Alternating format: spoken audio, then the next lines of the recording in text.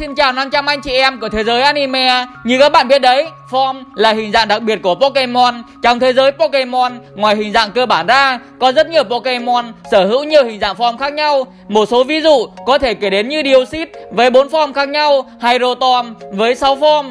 Tuy nhiên, các form của hai Pokemon này cũng như hầu hết các Pokemon khác là cố định, chúng không thể thay đổi hình dạng trong chiến đấu. Chính vì thế, mỗi khi bước vào các trận đấu, các bạn chỉ được phép chọn một form bất kỳ nào đó. Tuy nhiên, thế giới này rất rộng lớn và có tồn tại rất nhiều Pokemon khác lạ. Trong đó, có một vài Pokemon có thể thay đổi hình dạng một cách linh hoạt trong trận đấu, từ đó tạo ra những lợi thế vô cùng lớn, có thể đảo chiều cả ván đấu. Vậy, đó là những Pokemon nào? Chào mừng các bạn đã quay trở lại với thế giới anime Tôi là Kirito Hôm nay, chúng ta sẽ đến với video Top 10 Pokemon có thể thay đổi hình dạng trong trận đấu nhé Lưu ý, trong video này tôi sẽ không đề cập đến các Pokemon có thể tiến hóa Mega cũng như có Gigantamax nhé Vì như thế, nó không công bằng một chút nào cả Ok, chúng ta cùng bắt đầu với Mở đầu danh sách hôm nay, chúng ta có Ditto, một Pokemon cực kỳ kỳ lạ. Hiện tại vẫn chưa rõ Pokemon này có nguồn gốc từ đâu, nhưng có giả thuyết cho rằng Ditto là sản phẩm thất bại khi con người cố tạo ra Mew. Sự kỳ lạ của Ditto được thể hiện khi nó chỉ học được một chiêu thức duy nhất, đó là Transform, mà trong thế giới Pokemon chỉ có hai Pokemon học được chiêu thức này, một là Ditto, hai là Mew giúp chúng có thể biến thành bất kỳ Pokemon gì. Đây cũng là lý do mà Mew hay biến hình thành các Pokemon khác để trêu đùa với chúng. Quay trở lại với Ditto, nó còn có một ability độc quyền, đó là Importo. Với ability này, Ditto cũng sẽ ngay lập tức biến hình thành đối thủ trong trận đấu. Khi đó, nó sẽ copy bộ chiêu thức cũng như toàn bộ chỉ số của đối thủ. Ghê chưa? Ditto sẽ trở về hình dạng gốc của nó khi trở về bồn. Khi được ra sân lần nữa, nó sẽ tiếp tục biến hình thành Pokemon trên sân. Nhờ đó tạo ra sự khó đoán cũng như đa dạng chiến thuật khi sử dụng Ditto khi thì biến hình thành một con SP để bắp một cái gì đó cho team Khi thì biến hình thành một con Pokemon chủ lực đầy mạnh mẽ như Zacian chẳng hạn Mà một khi sở hữu hai con Zacian trong một team thì thôi nghỉ, đánh đấm cái gì nữa Tiếp theo, chúng ta có một Pokemon đến từ thế hệ 3, đó là Catform, không giống như Ditto ở trên, có thể thay đổi hình dạng thành các Pokemon khác thì Catform lại cũng thay đổi hình dạng được, nhưng nó sẽ biến đổi thành một trong bốn form của mình. Pokemon này sở hữu đến 4 form, bình thường nó sẽ ở hình dạng cơ bản. Tuy nhiên, nếu trên sân đang có thời tiết, nó sẽ biến đổi thành các dạng form tương ứng. Cụ thể, khi đang có nắng trời, Catform sẽ ở dạng Sunny form mang hệ lửa. Khi ở trong mưa ngâu, nó ở dạng Rainy form và có hệ nước. Và cuối cùng, nếu ở trong mưa đá, nó sẽ có dạng Snowy form và có hệ băng. Các bộ thấy ảo diệu chưa? Nguyên nhân dẫn đến việc cát form có nhiều hình dạng khác nhau là do nó là một sản phẩm của con người được tạo ra để đỡ đạc thời tiết. Vì có thể thay đổi hình dạng tùy thuộc vào thời tiết nên tất nhiên cát form có thể học toàn bộ các chiêu thức có thể bắp thời tiết như Sunny Day, Renden và Hell. Tiếng là Pokemon này không có hình dạng trong bão cát, không thì đủ bộ thời tiết rồi. Nói đến cát form thì không thể không nói đến chiêu thức từng là độc quyền của nó. Đó là Weather Ball Chiêu thức này ban đầu là hệ thường. Tuy nhiên nếu trên sân đấu có thời tiết nào đó Thì nó sẽ biến đổi thành hệ tương ứng của thời tiết Và được nhân đôi sát thương. Một chiêu thức khá hay ho.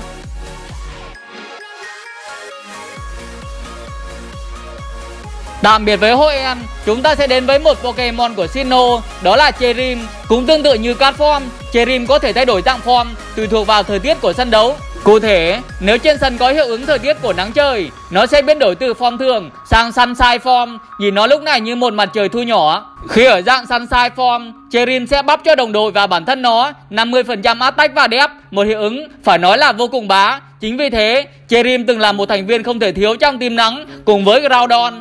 Nhưng giờ thời thế thay đổi rồi Có đây là mắc cái, Người ta nhét Cherim vào thùng rác luôn, Không ai thèm chơi Tuy mang trong mình một hiệu ứng vô cùng bá đạo như thế, Nhưng việc sử dụng Pokemon này rất khó, Vì nó yêu cầu kỹ năng kiểm soát thời tiết của trên N vì chỉ cần hết nắng hoặc thời tiết trên sân bị đổi thì Cherim sẽ ngay lập tức trở về hình dạng ban đầu. Lúc đó thì chỉ có cách làm báo thịt, hay cái gì đó tương tự cho người ta đánh. Một Pokemon cực kỳ quen thuộc với chúng ta đó là Zoroark, bạn thân của anh N. Zoroark cũng có thể thay đổi hình dạng của mình trong trận đấu nhưng không phải là đổi sang một dạng form khác mặc dù nó mới có một form mới hình dạng Hisuian. Cụ thể, với Illusion hay ảo ảnh, Zoroark sẽ luôn biến đổi thành Pokemon thứ 6 trong party vì một trên N sẽ có 6 Pokemon mà khi này chỉ có hình dạng của nó thay đổi còn chiêu thức của nó vẫn được giữ nguyên. Tuy nhiên, khi nhận sát thương trực tiếp từ đối thủ, nó sẽ quay trở về hình dạng của mình nhưng như thế là quá đủ vì với khả năng này Gerard có thể đánh lừa đối thủ từ đó làm cho đối thủ có những quyết định sai lầm. Các bạn còn nhớ trận đấu giữa Glazio và Satoshi không? Còn Zoroat của Glazio đã biến thành Lugarugan khi nó sử dụng màn đêm bùng nổ, Satoshi và mọi người trên khán đài đã cực kỳ bất ngờ và khó hiểu tại sao Lugarugan lại biết sử dụng màn đêm bùng nổ kiểu tao là ai và đây là đâu. Đúng là khả năng này rất bá. Tuy nhiên Zoroark chỉ có thể biến hình. Nếu Pokemon thứ 6 không cùng loài với nó Và không bị mất khả năng chiến đấu, và một khi nhận sát thương trực tiếp, Nó cũng trở về hình dạng của nó ngay. À Zoroark Hisuian cũng có khả năng tương tự nhé. Nên các bổ cứ yên tâm mà chiến. Greninja hay Gekoga là một Pokemon cực kỳ nổi tiếng. Sự nổi tiếng của nó tôi cũng không cần phải nói nữa nhỉ. Các bộ còn nhớ cái hình dạng Satoshi Gekoga đã làm khuynh đảo cửu giới Đảo lộn cả cái liên minh Kalos một thời. Thì đó, đó chính là thứ mà chúng ta sẽ bàn luận ở đây. Để giải thích theo góc nhìn của khoa học Chứ không phải sức mạnh tình bạn nào ở đây hết Thì nếu một Greninja sở hữu ability là Battle Bond trong trận đấu, khi tiêu diệt được một Pokemon bất kỳ, nó sẽ ngay lập tức chuyển sang hình dạng Art Ninja. Khi này, tổng chỉ số của nó tăng mạnh lên đến 640, vừa rất xa so với các Pokemon khởi đầu cũng như Pokemon Á Thần, biến nó trở thành Pokemon khởi đầu có tổng chỉ số cao nhất. Khi này, khả năng tấn công cũng như tốc độ của nó tăng rất mạnh, một sức mạnh kinh dị. Sức mạnh của nó thì anh em cũng được chiêm ngưỡng trong anime rồi. Có một điều có thể các bạn đã biết đó là tuy là Pokemon khởi đầu của Gen 6 nhưng phải sang Gen 7 thì cái ability Battle Ball cũng như hình dạng Art Greninja mới xuất hiện trong game. Trong khi đó, cái hình dạng này đã xuất hiện trong anime rồi. Ảo chưa? Phải nói là ảo thật đấy. Một Pokemon cũng đến từ thế hệ 6 khác, đó là Aguilat. Pokemon cực kỳ mạnh trong PvP, cụ thể là đấu đơn vì khả năng biến hình cực kỳ bá đạo của mình. Theo đó, Aguilat có đến hai form, một là siêu form, hai là blade form. Khi bắt đầu trận đấu, nó sẽ luôn ở dạng siêu form. Khi này, khả năng phòng thủ của nó vô cùng kiên cố, như một tấm khiên vững chắc. Còn khi tấn công, nó sẽ ngay lập tức chuyển sang dạng blade form. Với attack và SP attack được tăng mạnh nên khả năng tấn công của Aguilar khi ở form này rất khủng. Đổi lại, khả năng phòng thủ của nó rất thấp, bị dính đòn một cái thôi là đang xuất khỏi trái đất ngay. Nhưng cũng đừng lo lắng, với chiêu thức độc quyền kinh siêu, Aguilar sẽ ngay lập tức chuyển về dạng khiên. Tác dụng của chiêu thức này cực bá, không những không nhận sát thương, y hệt như Rotech ấy, nó còn làm cho những đối thủ tấn công bằng một chiêu thức tiếp xúc trực tiếp bị giảm hai bậc attack. Bá chưa nào? Nhờ kinh siêu, Aguilar có thể linh hoạt chuyển đổi dạng form mà mình muốn. Khi tấn công, nó có dạng kiếm, khi phòng thủ, nó có kinh siêu và dạng khiên. Một Pokemon công thủ toàn diện, chẳng trách mà nó vẫn đang ở hạng Uber, sánh ngang với các Pokemon huyền thoại. Vẫn là một Pokemon ở khu vực Kalos Không những thế, đó còn là Pokemon đứng đầu ở khu vực này Zigade. Không giống như bộ đôi sinh tử Zigade có rất nhiều form khác nhau Như Zigade 10%, 50% và 100% Theo lý thuyết thì khi hai lõi dép kết hợp với toàn bộ tế bào dép chúng ta sẽ có Zigade 100% còn trong thực tế nếu Zigade sở hữu ability power con chắc hình dạng nào cũng được 10% hoặc 50% khi HP của nó tụt xuống ngưỡng 50% thì nó sẽ biến hình thành dạng 100% vào cuối lượt. Sau khi biến hình, chỉ số HP của Z tăng rất mạnh, cảm giác như Pokemon này gần như full HP sau khi biến hình vậy. Tuy nhiên, tốc độ của nó bị giảm đi tương đối và khả năng tấn công thì vẫn yếu như thế. Gigade chỉ được cái trâu, không khác gì cái bị thịt cho chúng nó đánh.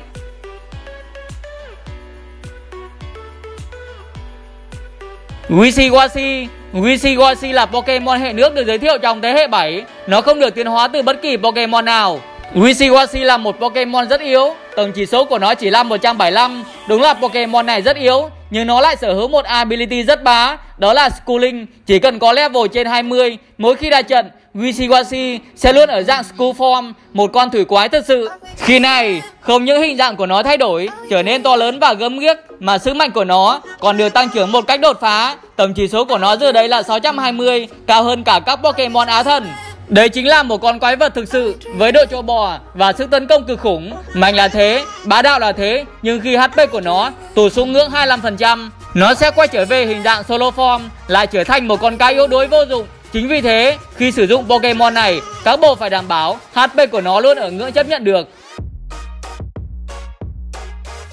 Một Pokemon khá dễ thương, họ hàng xa của Pikachu, chúng ta có một Peko đến từ vùng đất Gala. Pokemon này thì cũng có hai form, một là Full Belly Mode, hai là Hungry Mode. Bình thường nó sẽ ở dạng full belly mode Khi này nó là một Pokemon vui vẻ, hiền lành, luôn thân thiện với mọi người Tuy nhiên với IBT Hunger Switch nó sẽ xen kẽ, đổi giữa hai form với nhau vào mỗi lượt.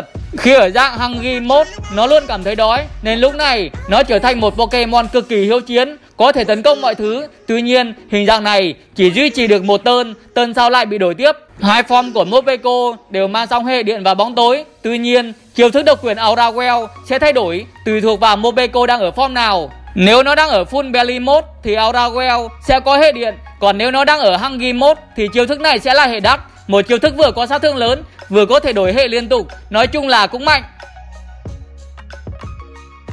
để kết thúc danh sách ngày hôm nay, chúng ta có AQ, một Pokemon chim cánh cụt đến từ Gala. Đúng là cánh cụt thật, nhưng không phải như các bạn nghĩ đâu. AQ cũng có hai form là Ice Face và Noise Face Và đúng là Pokemon này sở hữu một quả đầu như đang đội một mũ bảo hiểm băng băng vậy. Bình thường, AQ sẽ luôn ở dạng Ice Face Tuy nhiên, nếu nó bị đánh bởi một chiêu thức vật lý, không những không nhận sát thương mà nó sẽ ngay lập tức chuyển sang dạng Noise Face Ở dạng này, tốc độ của AQ cực kỳ cao, lên đến 130. Đoạn tiếp theo sẽ hơi khó hiểu, anh em nghe kỹ nhé. Nếu AQ đang ở dạng Noise Phase và trên sân đấu bắt đầu có mưa đá nó sẽ chuyển về dạng ice phase vào cuối lượt. Tuy nhiên, nếu mưa đá đã có từ trước đó rồi thì nó sẽ không thể chuyển về dạng ice phase. Tại sao Pokemon này cần chuyển về dạng ice phase? Vì khi ở dạng này, nó có thể đỡ được một đòn tấn công vật lý của đối thủ như Behemoth Blade chẳng hạn. Từ đó, nghĩ cách giải quyết tiếp theo. Vậy nên, có thể thấy việc tạo mưa đá với Pokemon này khá quan trọng. Tuy nhiên, nó cũng chỉ giúp AQ chuyển về dạng Ice Phase một lần nếu không có ai đổi lại thời tiết.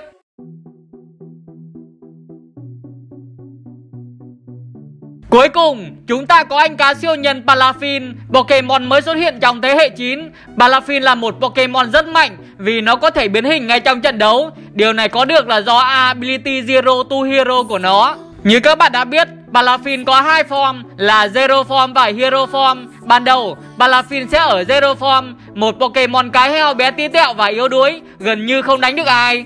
Tuy nhiên, khi rút lại về bôn, nó sẽ chuyển sang dạng Hero Form để đôi khi ra lại sân, nó sẵn sàng đấm vỡ alo bất kỳ Pokemon nào. Ở form này, Balafin đã có một pha biến hình cực mạnh, nhìn nó cứ như siêu nhân ấy, lại rất thích tạo dáng.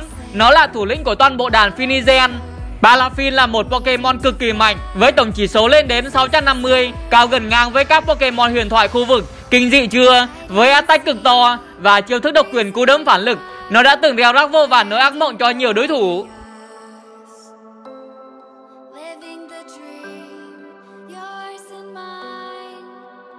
Vậy là video hôm nay đến đây là kết thúc rồi Bạn có cảm nghĩ gì khi xem xong video này Hãy comment bên dưới để AD đặt like và mọi người cùng biết nhé Đừng quên like, share và subscribe để đón xem những video bổ ích về Pokemon trong thời gian sắp tới nhé. Cảm ơn tất cả mọi người. Bye bye.